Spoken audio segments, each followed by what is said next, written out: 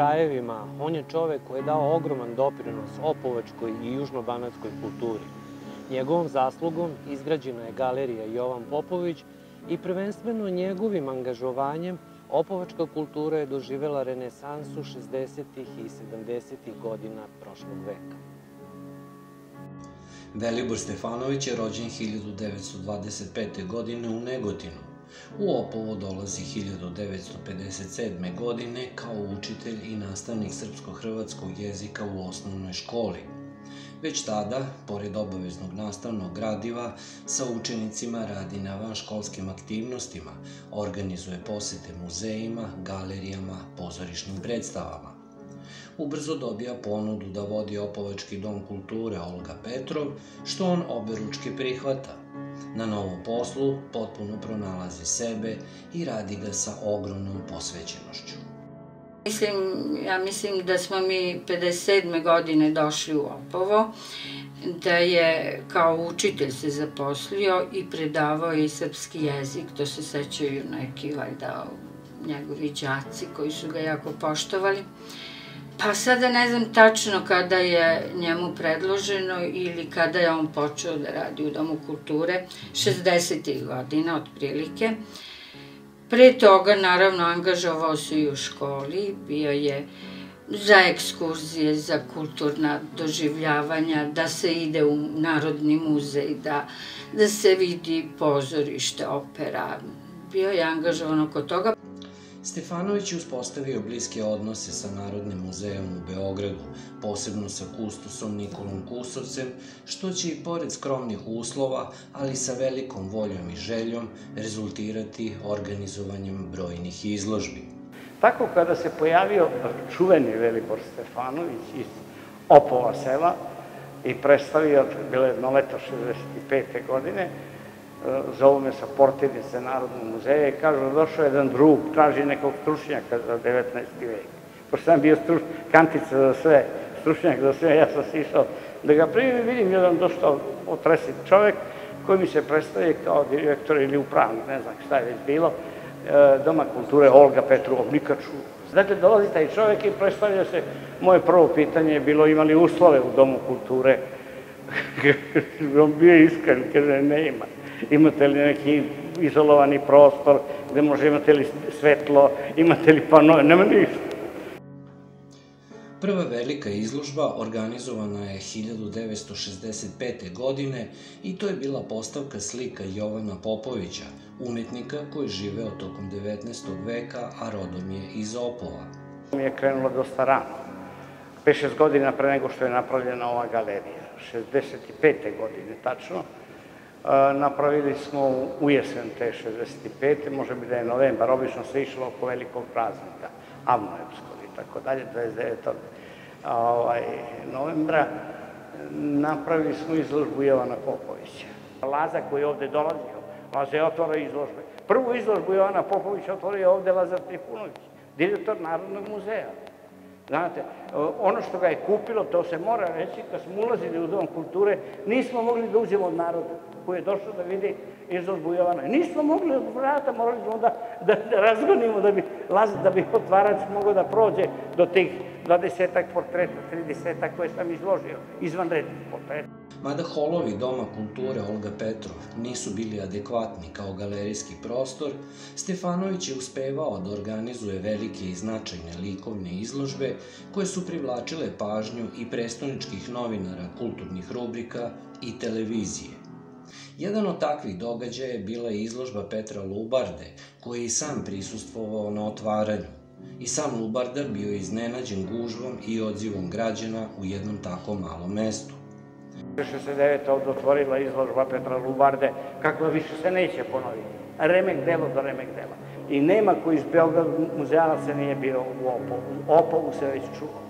U Opovu se već čulo, već je pisale novine, štampa pratila, to, to, to ta izložba Lubardina slikao je ovaj e, RTS. Pored likovnih izložbi, Stefanović je bio angažovan i u drugim delatnostima kulturne ustanove koju je vodio. Unapredio je biblioteku, koja će vremenom dostići značajan fond sa evropskim prosekom broja knjiga u odnosu na broj stanovnika. Filmske premijere nisu zaostajale za beogradskim bioskopima, a na sceni Doma kulture redovno su se održavali koncerti od popularne muzike do operskih arija tad su dolazili obični ljudi, seljaci i e, na te izložbe. Mislim što je interesantno, kažem, to sad ne bi mogo čovek da zamisli, je tako da? Ovaj, tako da drugačije je bilo vreme, mislim da su ljudi bili mnogo više zainteresovani pre svega za, za taj okupljanje tu. Pored klasičnih sadržaja, Velibor Stefanović je bio liberalnog stava i vrlo otvoren prema novim kulturnim tendencijama.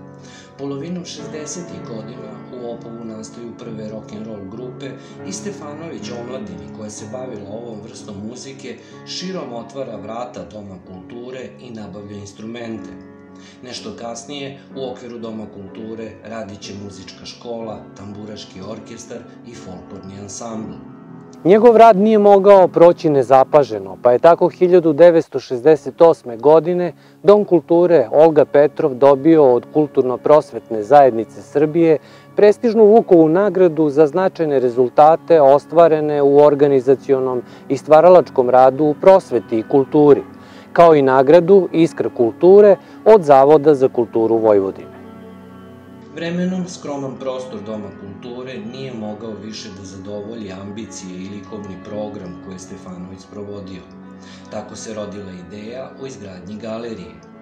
Uz podršku Nikole Kusovca iz Narodnog muzeja u Beogradu pokreće kampanju pod tadašnjih političkih rukovodioca opštine Opovo i meštana kako bi se podigao kredit i pokrenuo samodoprinos građana za izgradnju namenskog galerijskog objekta. E, izložbe slika smo imali u samom Domu kulture e, i on imao ideju da napravi galeriju. To je bio jako težak posao. Mislim, i ne samo građevinski, nego je bio težak i da se izbori za tu stvar. Zato što to baš i nije bilo vreme gde se očekuje da ovako jedno malo mesto, mislim, ima tako galeriju koju on zamislio, ali je on uspeo. Mislim, on je uspeo, mislim da niko drugi ne bi uspeo, s obzirom na, na sve ta, taj, i tu svoju snagu i koja je uspeo da ulije svakome, mislim, koja, koja je to potreba i važnost, da je to i u blizini Beograda. Galerija koja nosi naziv po slikaru Jovanu Popoviću izgrađena je i otvorena krajem 1970. godine po projektu arhitekata Spasoja Krunića i Milorada Berbakova i predstavlja veliki arhitektonski poduhvat, a sama po sebi je umetničko delo. Mladi, izvanredna, dvojica izvanrednih arhitekata, od kojih se jedan kasnije u Beogradu ozbiljno potvrditi, duše bavio se i politikom Spasoja Krunić, to mu je prvi rad on je učenik Bogdana Bogdanovića, izvanrednog arhitekta i onda se prepoznaje Bogdan.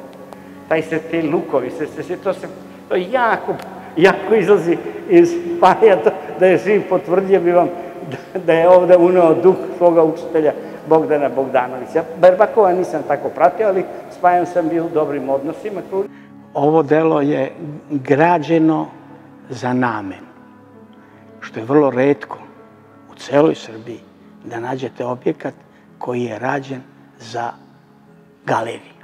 Obično su to prepravljani objekti i tako. Ovo su radila dva vrsna arhitekta. Njihovo delo je. Jedan je Spasoje Paja Krunić, a drugi je Miša Drbakov.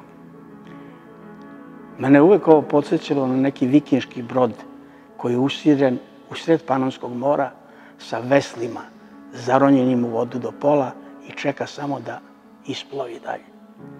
Objekat je izvanredno arhitektonsko delo, vrlo cenjeno u krugovima. Galerija Jovan Popović ubrzo postaje prava kulturna senzacija i poznata po svojim programskim sadržajima.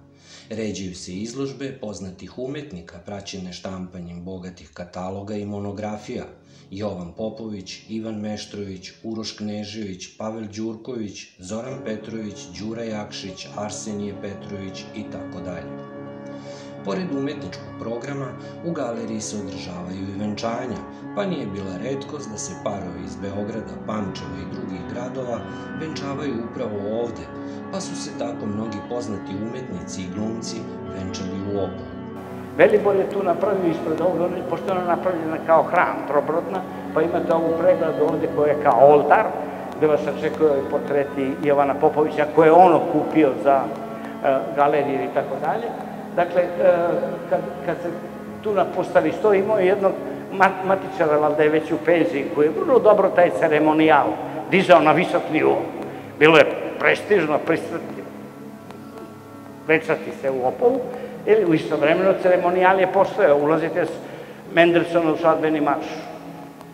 Znate, pa to onda najviši nivo sa poštovanjem prema zvanicama, prema onima koji dođu ovde se društvo rasporedi, kad se to završi počinu banatski pećarci i šampanjac se otvara. Šta hoćete, Ko, koja je to slika? Kroz Opovo sam prolazila na različite načine u vašoj galeriji je pre 40 godina venčali su se moji veoma bliski prijatelji. U Beogradu je Opovo bilo poznato po toj galeriji, po velikoj lepoti koja se tamo mogla videti. Ubrzo, Stefanović i Kusovac smišljaju i realizuju novi projekat, Park skulptura. Oko galerije niču skulpture naših najpoznatijih vajara tog vremena, Ivana Meštrovića, Simeona Roksandića, Sretena Stojanovića i drugih. Koliko su tih 70. godina galerija i park skulptura bili na glasu, govori i činjenica da su svi muzealci Evrope koji su dolazili u Beogradski narodni muzej obavezno obilazili Opovo kako bi videli to ruralno umetničko čudo. Znate, ovo nije bilo samo ova galerija, okolo su stenicale skulpture, šume skulpture je bilo okolo. Jedini eh, problem za eh, Velibora da se to realizuje bio da obezbedi, pošto smo mi bili sirotinja, nismo imali para za prevoz i za radnike. Znate, da ući ovde izložiti onog anđela njegovog koji je bio ispred konaka knjiginje Ljubice pripada, vodi se u zbirci Narodnog muzeja, pa kad je trebalo da ga izvestimo, nisam mogao da ga unese u muzej, ali sam mogao da ga stavim ispred vaše galerije. Gotovo da nema evropskog muzealca koji je posetio Narodni muzej da ne bi u Opovu. Znate, ovde je uvijek na zidovima bila neka dobra izložba. Znate, doveden Iržija Kotalika, direktora Narodne galerije iz Prahe, jeli, da vidi šta naša sela rade. A oni samo onoga dela nemaju ništa slično. Oni su da mi veruje, misli to sad ova izmišlja, ova propaganda titoistička i tako dalje. Ne, to je bilo to. Onda se ovde, zahvaljujući Veliboru, druženju, povedete ga na ručak, bila je kafana Vojvodina, je tako zvala ako se ne varam, pa tamo, Velibor koji zna lepo da peva, zapeva, pa to lepo izgleda i pup i vide da je to ovde, da je to odavde, da je to napor ovih ljudi iz ovoga i to je meni činilo veliko zadovoljstvo. Kako svedoci tog vremena danas kažu, Velibor je nepravedno smenjen sa dužnosti direktora kulturne ustanove. Naravno, zvanična saopštenja se u velikoj meri razlikuju od onoga što se pričalo među ljudima – Znamo da je još 1972. godine bio u političkoj nemilosti zbog podrške liberalističkoj struji i potonje čistke srpskih liberala, što je kasnije kulminiralo njegovom smenom. Nakon toga radio je u Matici Srpskoj, gde su ga sa zadovoljstvom primili.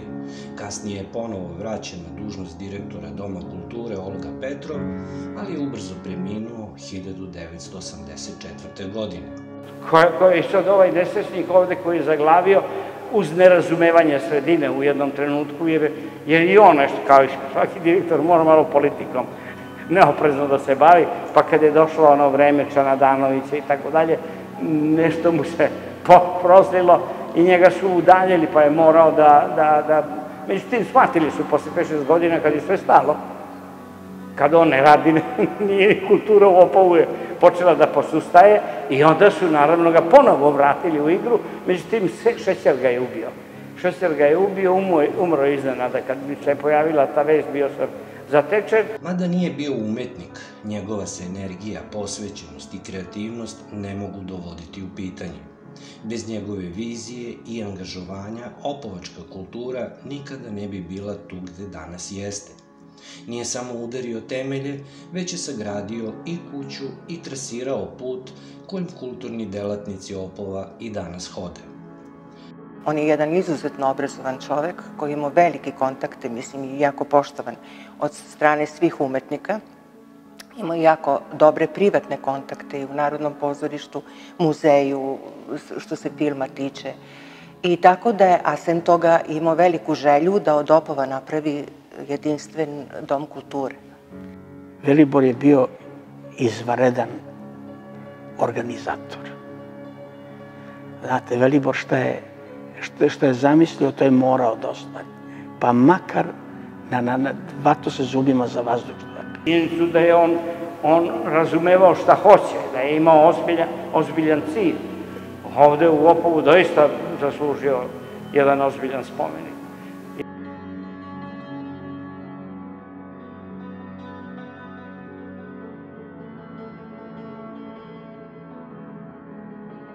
Nagrađivan, ali i osporavan, hvaljen i kritikovan zbog nerazumevanja često u borbi sa vetrenjačama, ipak uspeo da od jednog malog banatskog mesta napravi umetnički centar kakav nisu imali ni mnogo veći gradovi. Nažalost, ovaj izuzetan čovek od svoje sredine nikad nije dobio zasluženo priznanje. Međutim, možda to i nije potrebno, jer ovaj monumentalni objekat koji za mene zauvek će čuvati uspomenu na njega i sve ono što je uradio za opovačku kulturu.